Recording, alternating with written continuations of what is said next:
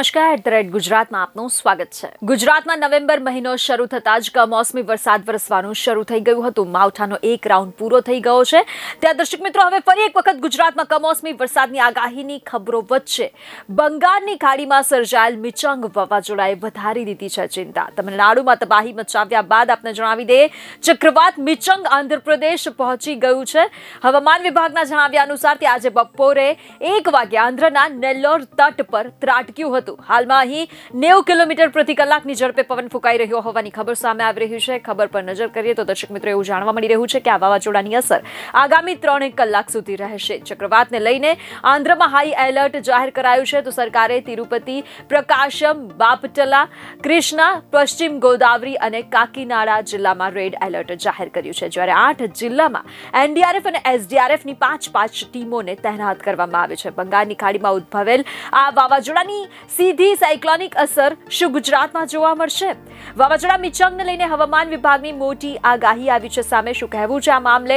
હવામાન વિભાગનું શું આ વાવાઝોડાની અસર ગુજરાત પર જોવા મળશે કે નહીં વાત કરીએ સમગ્ર મામલે ડિટેલમાં તો દર્શક મિત્રો રાજ્યની જનતાને રાહત આપતી હવામાન વિભાગની આગાહી સામે આવી છે હવામાન વિભાગની આગાહી અનુસાર ગુજરાત પરથી કમોસમી વરસાદનું સંકટ દૂર થશે હવે કમોસમી વરસાદની શક્યતા નથી મિચંગ વાવાઝોડાની અસર ગુજરાતમાં નહીં રહે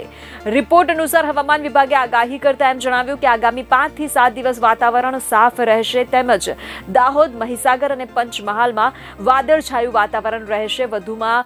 જણાવાયું કે ગુજરાત પર મિચંગ વાવાઝોડાની અસર નહીં વર્તાય તેવી ખબર સામે આવી છે દર્શક મિત્રો અહેવાલો પર નજર કરીએ તો હવામાન વિભાગનું કહેવું છે કે દસ ડિગ્રી સાથે નલિયામાં સૌથી ઓછું તાપમાન નોંધાયું છે તો ઠંડીના પ્રમાણમાં પણ ખાસ વધારો નહીં જોવા મળે તાપમાનમાં એક બે ડિગ્રીનો ફેરફાર થઈ શકે છે આવનાર દિવસોમાં ડ્રાય અને ઠંડુ વાતાવરણ જોવા મળશે પવનની દિશા ઉત્તર પૂર્વીય રહેવાની સંભાવના છે.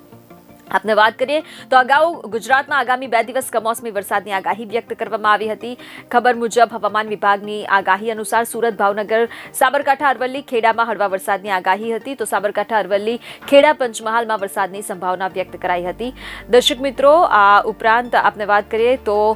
જે રીતે મિચંગ વાવાઝોડાએ તબાહી મચાવી છે તેને લઈને ગુજરાત પર શું આની અસર થશે કે નહીં તેવા અનેક સવાલો હતા ચર્ચામાં. ત્યારે હવામાન વિભાગની આ આગાહી સામે આવ્યું છે કે મિચંગ વાવાઝોડાને લઈને લઈને ગુજરાત પર કોઈ અસર આ વાવાઝોડાની નહીં થાય દરમિયાન આપને ત્યાં કેવો માહોલ છે કેવું વાતાવરણ છે વરસાદને લઈને શું અપડેટ છે કમેન્ટ કરીને ચોક્કસથી જણાવજો બીજી અનેક ખબરો સાથે ફરી મળીશું ધન્યવાદ